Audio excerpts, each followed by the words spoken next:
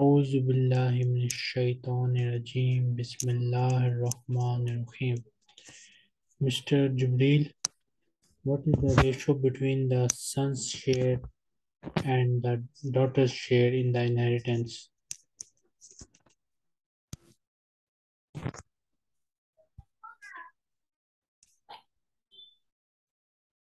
Okay.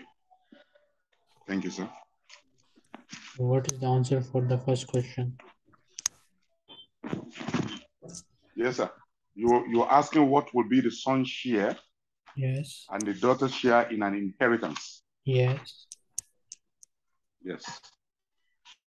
Well, according to the class that we took with you, yes. you have uh, explained you've, you've explained this to us, and uh, I have everything covered in my notes. Okay, good. Yes, sir. So you said um, it's a ratio of two to one between the son and the daughter. Okay, good. Do you have any children? Yes, sir. How many? I have uh, five, alhamdulillah. Okay, how many sons, how many daughters? One son, four daughters. Okay, one son. Let's suppose the son is A and the daughter Naam. is X, Y, Z, W. So X, Y, Z, W, these four are your daughters and A Naam. is your son. Any idea how much is your total uh, inheritance? Yeah, for daughters, um, it's two third. No, let's suppose you have total wealth of around $1,000, okay? One thousand. Now you have died and we need to divide this $1,000 among these four daughters and one son. So first, the ratio is 2, ratio 1, Two, ratio 1, one. ratio 1, None. ratio 1. One. So now we need to calculate it. 2 plus 1 plus 1, 4, 5, 6. So their sum is 6. So now I will calculate the share of A. A is equal to 2 divided by 6 multiply 1000. 1000 is your total wealth. Okay. So I will divide it. 2000 divided by 6. So what is the answer here? Can you tell me? Sure. Here one, we here three, two thousand. Three hundred. Okay, 300. Sorry, thirty. Let me Yeah, check. thirty. 2 divided by 6. Two, two six multiply 1000 333 the correct answer is Yeah, three hundred and thirty-three. and it is in point as well so i will not go in points so the Yeah. son will get around 333 dollars from your inheritance okay now let's see what is the share of the daughters 1 divided by 6 multiply 1000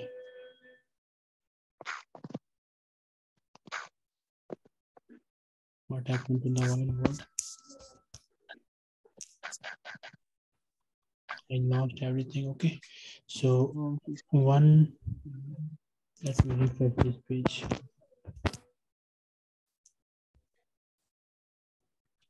One sixty-six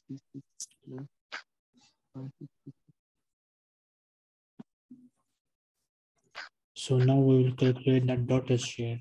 So one divided by six multiply one thousand. Okay, so now One sixty-six. sorry.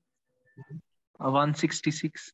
Okay, one sixty six. So each daughter daughter will get one sixty six dollars after your death. Okay.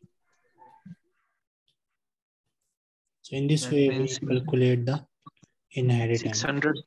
Six hundred sixty-six plus three hundred thirty-three will be Yes. nine nine nine. Yeah, so this is the general method that you will use to calculate it.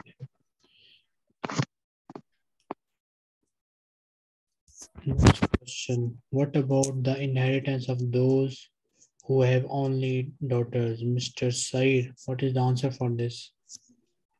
Assalamu alaikum wa rahmatullahi wa This is my first time I have joined this class. Okay. So this is my first time.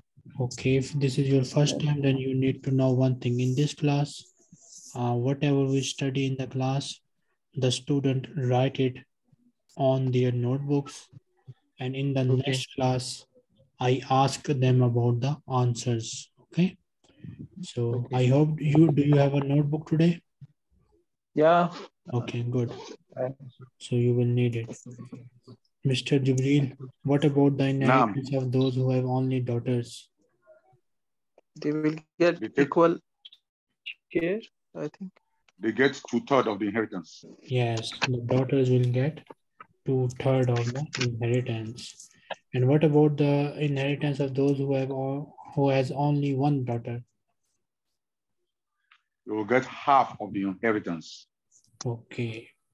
And will the parents of the deceased who has children, let's suppose in your case you have five children. After your death, will your parents get any share in the inheritance? Yes, they will. They will. How much? One sixth. One sixth of the inheritance. Now let's go. There, there is another person who has no children. He is without any children. What about his parents? What will they get in the inheritance? One third. One One third. third. And what is the most important condition that we need to fulfill before dividing your inheritance after your death? We have to pay all legacies and debts. Yes, first we will pay the debt and legacies. After that, we will divide your inheritance among your uh, wife, Yes. parents, and children. Can Uh, Sheikh, Sheikh, can I ask a question? sorry? Uh, can I ask a question, Sheikh? Yes, please. Uh, if uh, someone don't have any kids and he dies, uh, so how will be this uh, uh, inheritance shared then? Okay, a person who has no children. The answer for question number five gives you some answer for that, half answer, okay? The answer of the five is the half answer of your question. We will study it because in this Of only parents. are discussed. But what about the wife and other? Yeah, exactly. see, uh, study it in the next. Brothers and siblings. Okay. Next, can Do siblings and brother brother have any right? we will study that as well, inshallah. Okay, we have not Okay, covered that topic yet. Inshallah. Can a person give one of the inheritors more share in the inheritance because of the likeness or dislikeness? Mr. Jibril, let's suppose No, Allah has uh, Allah has already ordained the distribution of inheritance, so we cannot tamper with it. let's suppose you like your uh, daughter W and you like your son A very much, but you don't like the daughter X, Y, Z much. So still cannot you give them anything extra? No, Okay, so your likeness and dislikeness, uh, you will not do. does not mean anything. extra. Yes, sir. The, the inheritance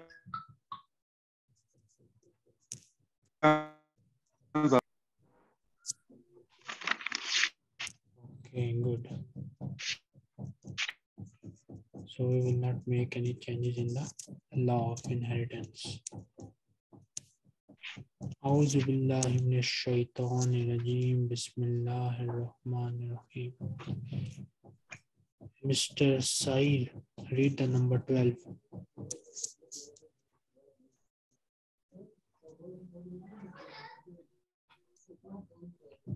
Can you hear me?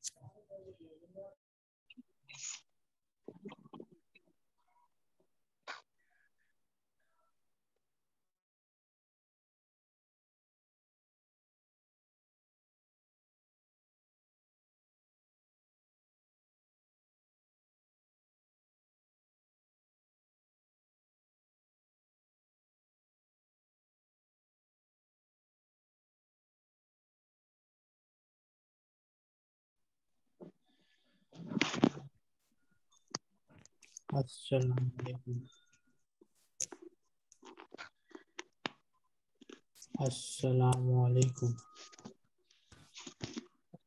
Waalaikum assalam wa rahmatullahi wa barakatuh. Mr. Said, read the number 12. Okay.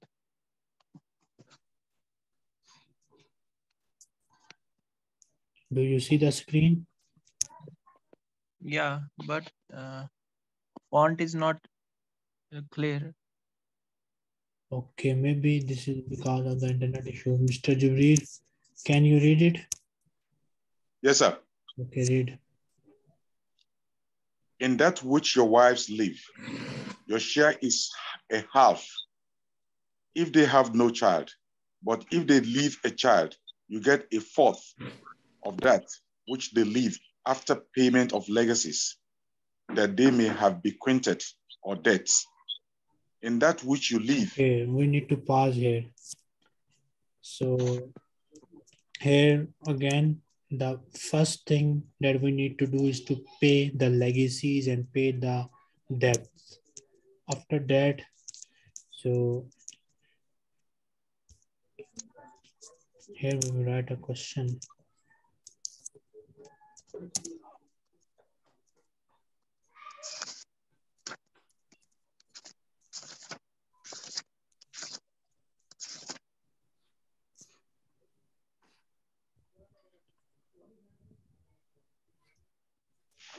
What will you get from the inheritance of your wife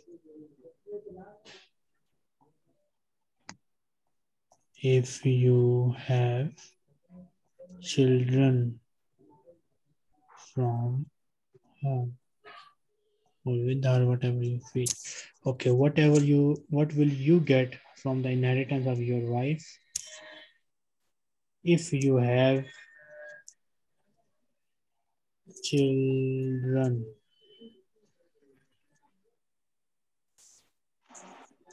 from her or with her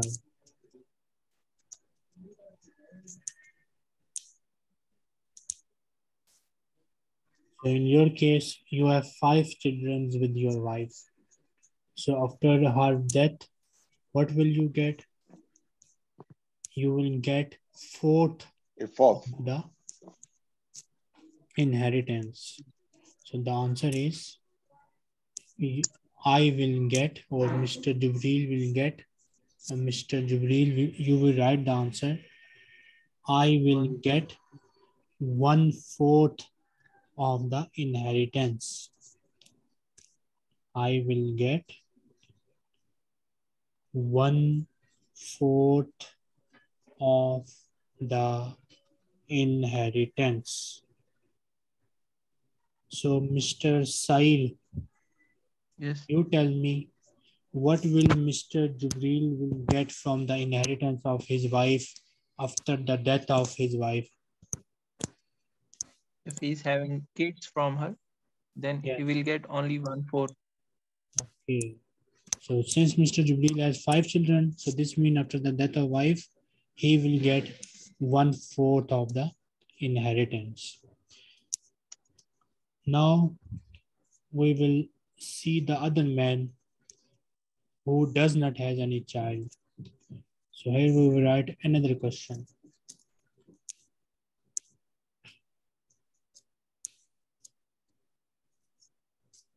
What will a man get from the inheritance of his wife if he does not have any children from her. What will a man get from the inheritance of his wife if he, if he does not have any children from her? Then the man will get half of the inheritance. The answer is the man will get half of the inheritance.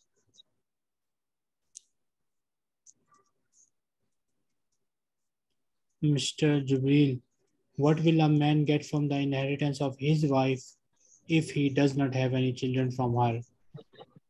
You will get half of the inheritance. Okay. Rema- remaining, uh, how it's supposed to be uh, distributed then?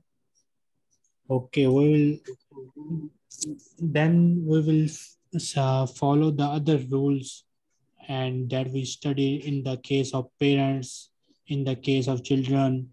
We will apply that rule as well along this one, okay?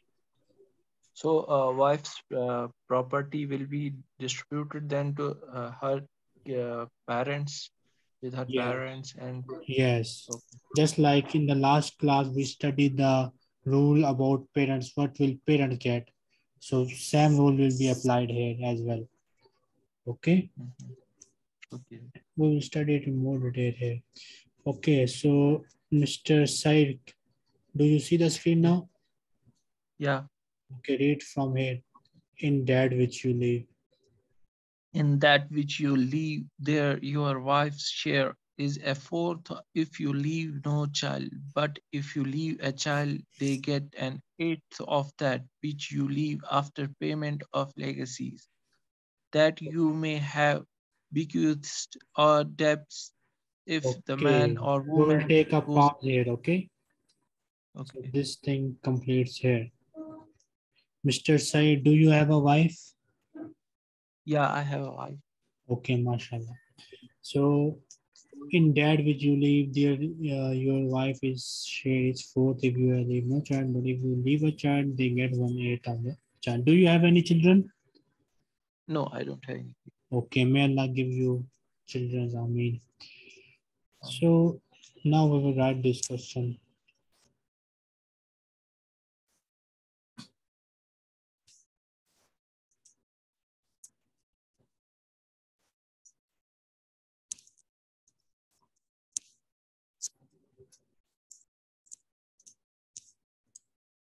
What will your wife will get from the inheritance?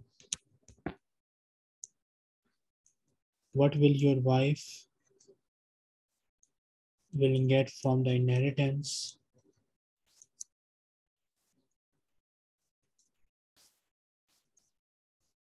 If you have no children from her, if you have what will your wife get from the inheritance if you have no children? So in your case, you don't have any children. So what will your wife get after your death? So the answer is written here. Your wife will get one fourth of the inheritance. Your wife will get one fourth of the inheritance. Mr. Galaxy, can you hear us?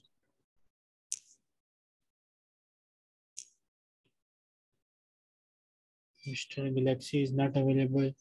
Mr. Jubril. Now, So what will the wife of Sair will get from the inheritance after the death of Mr. Sair? she'll get one fourth. Okay, she will get one fourth of the inheritance. Okay. Now, other person who has children.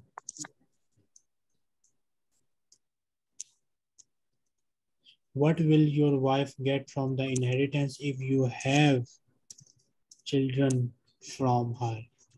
So, Mr. Said, you will tell me what will the wife of Jubril will get from the inheritance because they have five children. So what will One she? eighth. One eight. So here we will write the answer. She will get one eighth of the inheritance. Okay.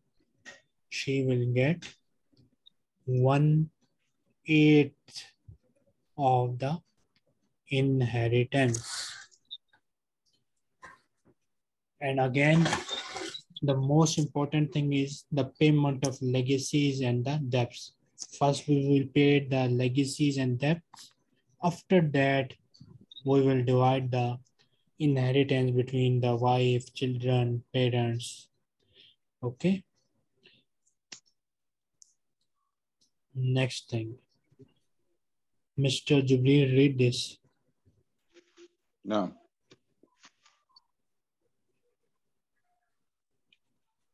sorry, sir. Uh, okay. If if the man or woman whose inheritance is in question has left neither ascendant nor descendant, but has left but has left a brother or a sister, each one of the two get a sixth.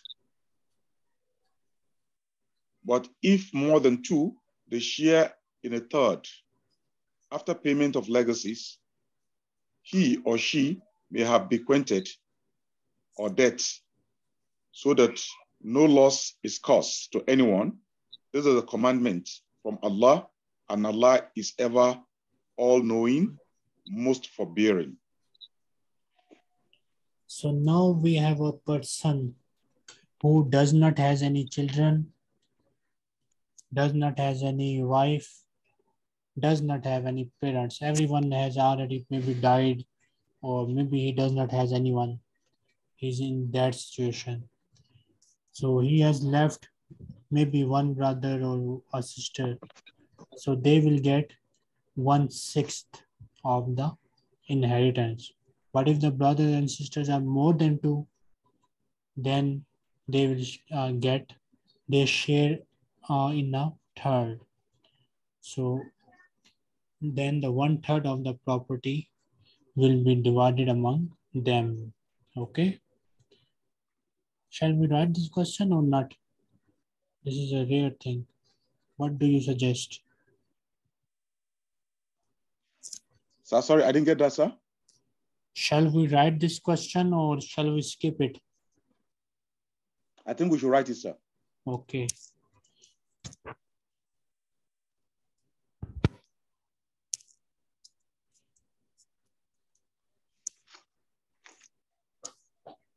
What about the inheritance of the person who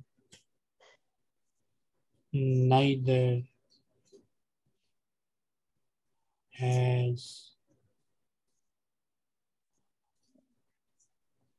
any ascendants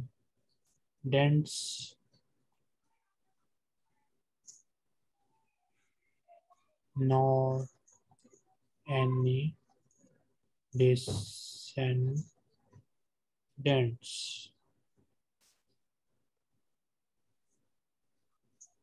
What about the inheritance of a person who neither has any ascendants nor any descendants?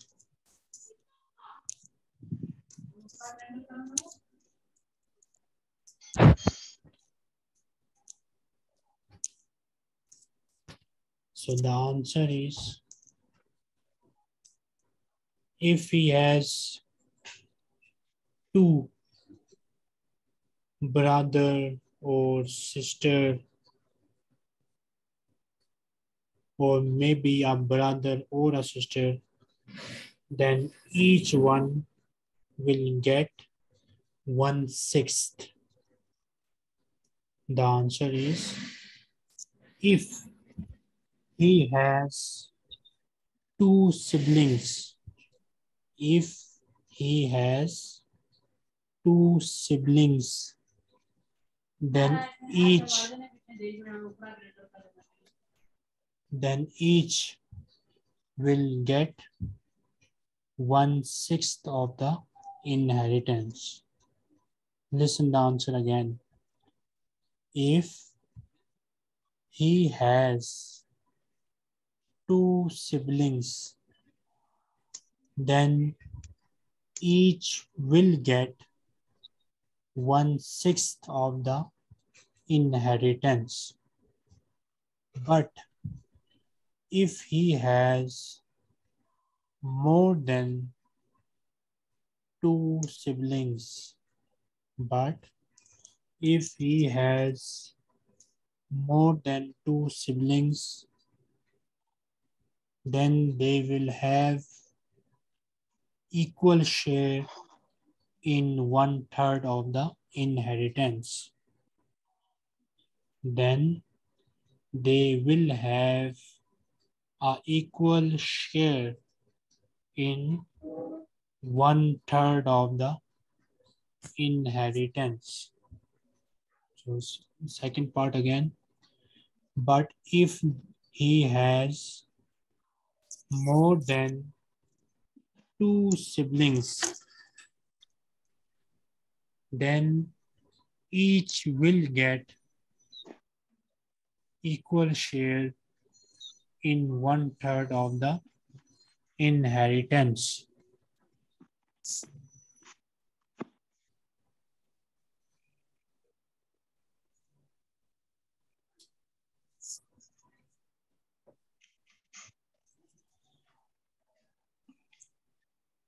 Mr. Sai, what is the answer for this question? Uh, uh, if he has uh, two brothers or uh, one brother and one sister, then each one will get one sixth. If they have uh, more than uh, two siblings, then they will get equally one third in the inheritance. Okay, good. So again, Allah is saying this is a commandment from Allah, which means we cannot make any changes to it because on our likeness or dislikeness. Often there are issues between brothers and sisters. This is a very common thing these days. So you cannot make any change to this law of inheritance because of your likeness or dislikeness. Mr. Said, Read this. These are the limits set by Allah, ordinaments as regards laws of inheritance, and whosoever obeys Allah and His Messenger وسلم, will be admitted to gardens under which rivers flow in paradise, abide therein, and that will be the great success. So first Allah told us that this is a command from Allah, which means we cannot make any change. Then Allah again tell us that these are the limits set by Allah Almighty, and whoever will follow these limits and obeys Allah and His Messenger, they will be admitted to the gardens of the rivers, where they will stay forever, inshallah, and that is the real success. Okay. Mr. Jibreel, read the next one. No. And whoever obey and whoever disobey Allah and His Messenger, Muhammad sallallahu alaihi wasallam, and transgresses His limits, He will cast him into the fire for abide therein, and he shall have a disgraceful torment. So again, this is the warning for those who disobey Allah and His Messenger, sallallahu alaihi wasallam, and transgress so they will be put in the fire and they will stay there and they will have a disgraceful torment. May Allah protect us all from such punishment. Amen. Inshallah, we all will follow the law of Allah Almighty and we will obey Allah and His Messenger, inshallah. inshallah. Mr. Sai, read this 15. Bismillah ar-Rahman and those of your women who commit illegal sexual intercourse take the evidence of four witnesses from amongst you against them, and if they testify, confine them, that is, women, to houses until death comes to them, or Allah ordains for them some or other. Read this footnote as well.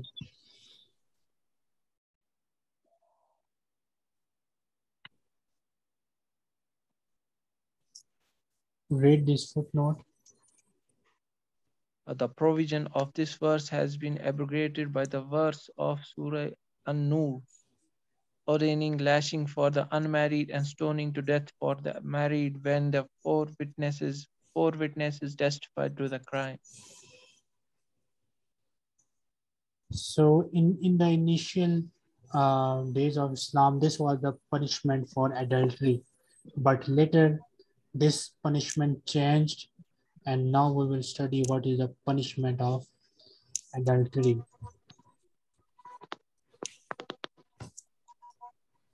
What is the punishment punishment of adultery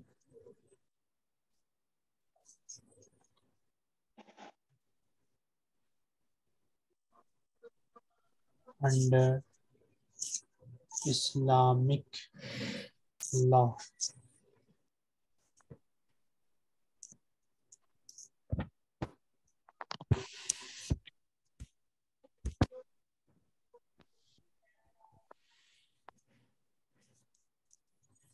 What is the punishment of adultery under Islamic law?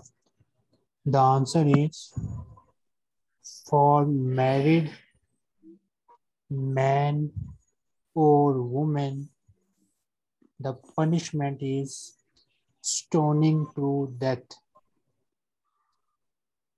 For married man or woman, the punishment is stoning to death. For unmarried man or woman, the punishment is uh, I am not sure whether it was 100 lashes or 80 lashes. So at the moment, we will just write 80 lashes, okay? But you need to remember one thing. I am not sure whether it was 80 or whether it was 100. I am not uh, exactly remembering that. Okay, so we'll just write 80 at the moment. For unmarried men or women, the punishment is and 80 lashes. Let me check. I forgot the number actually. How many lashes for adultery in Islam?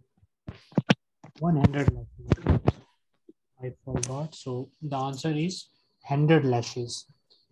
The punishment the, for unmarried man or woman, the punishment is 100 lashes.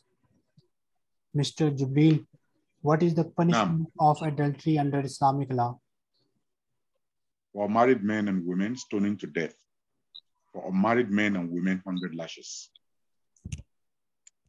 Okay, now we have a practical question. Today we often see that many people commit adultery. Sometime uh, son commit adultery, sometime a daughter commit adultery, sometime husband commit adultery, sometime wife commit adultery.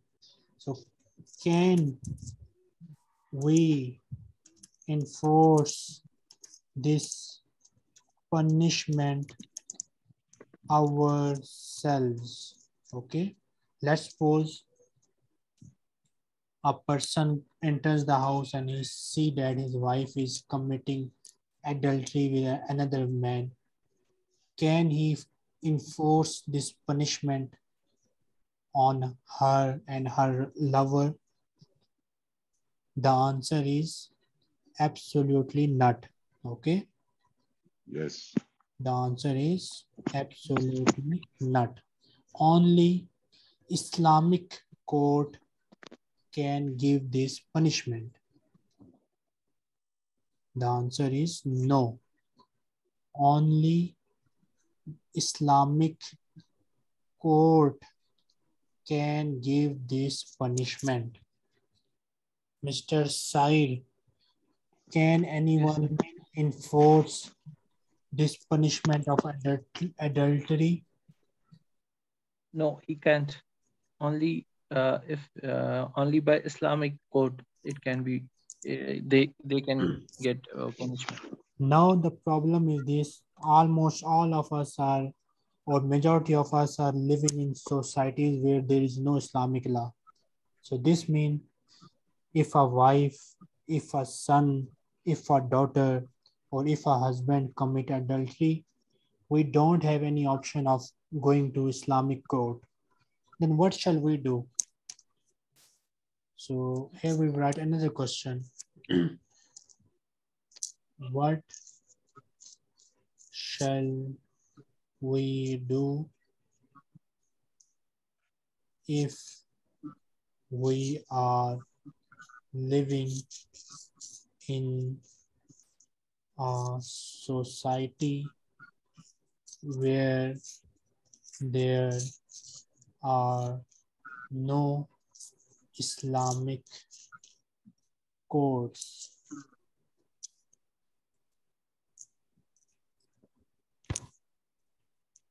What shall we do if we are living in a society where there are no Islamic courts? The answer is in that case, if it is your wife, then you will divorce her. Same thing for your husband. If it is your husband, you leave him. If you are, it is son or daughter, try to put them in a nikah. We still cannot can't force this law. Okay.